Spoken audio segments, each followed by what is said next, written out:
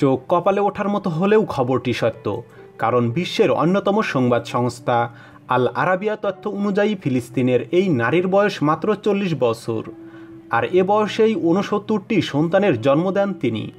গত রোববার রাজধানী গাজা উপত্যকায় তার মৃত্যু হয়, ইন্ডিয়া টুডে এ খবর জানিয়েছে।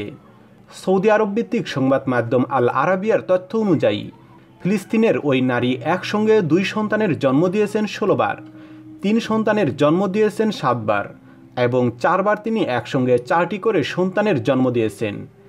গিনেস বিশ্ব রেকর্ডের তথ্য মতে, এত অধিক সংখ্যক সন্তান জন্ম দেওয়ার ঘটনা এটি প্রথম নয়।